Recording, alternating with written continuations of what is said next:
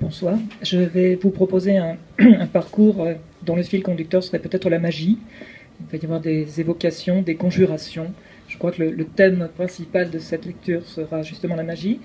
Euh, pour commencer, euh, deux courts extraits d'un recueil appelé Ombre attachée.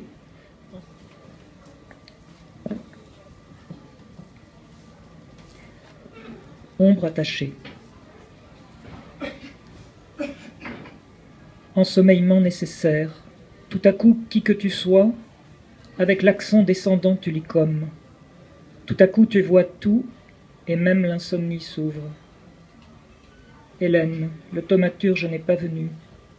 Joseph éclaire le pli de chaque côté de la tête qui porte son nom, toute la croûte qui tombe de chaque tête et le nom, appuyé contre la nuit fraîche cette fois. Spécimen d'humanité farouche, embrasse, pompon, voilage, le moindre écorchement prend du temps. À enjamber les filaments font sable blanc, vase noir, une voix plus intime qui ferme s'applique à la conversion des choses simples.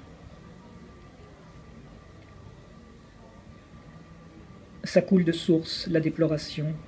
Le rêve où François francisé et grandi me parle.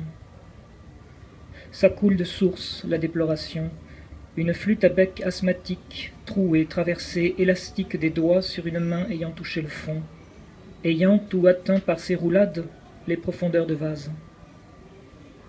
Quel monde Couper le printemps dans le dos, tirer au ras du cou coton et contenu fripé tiré des gorges et de la plaie.